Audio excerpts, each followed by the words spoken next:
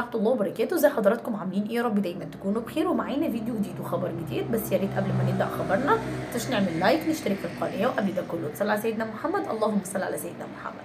خبرنا النهارده بيتكلم عن حفيد مانديلا وزيارته إلى الجزائر ورسالته المهمه جدا للجزائر وكمان قال في نهايه خطابه إن هو من المفترض إن هم يحرروا الصحراء الغربية وإن أهل الصحراء الغربية ياخدوا حقهم ومش بس كده كمان قال إن الجزائر طول عمرها بتعتبر هي البلد الثانية لمانديلا والنهارده هم طبعا بيحبوهم جدا وهم كمان بيحبوه جدا جدا وعلشان كده عملوا ملعب على اسمه بالتحديد يعني. ويلا بينا نشوف الخطاب اللي قام بيه حفيد مانديلا لنا الشرف الكبير والفخر نحن عائلة مانديلا لتواجدنا هنا بالجزائر البلد الذي كان ماديبا يعتبره بيته الثاني. نحن هنا بمناسبة الافتتاح الرسمي وتدشين ملعب نيلسون مانديلا بدعوة من رئيس الجمهورية السيد عبد المجيد تبون.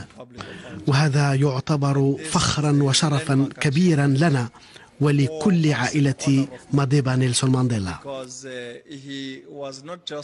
مانديلا لم يكن رمزا لجنوب إفريقيا وحدها. بل لكل إفريقيا فقد كان أيقونة تفخر بها كل إفريقيا. وهذا التشريف اليوم هو تشريف لجنوب إفريقيا وللجزائر ولإفريقيا عموما.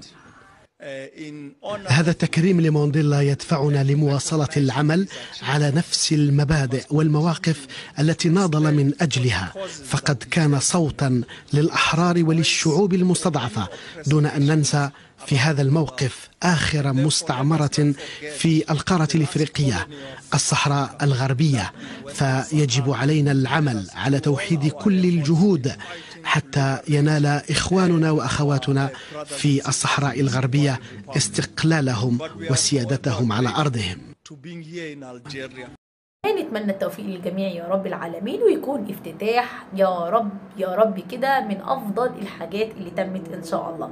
حضراتكم على ألف خير في فيديو جديد وخبر جديد. السلام عليكم ورحمة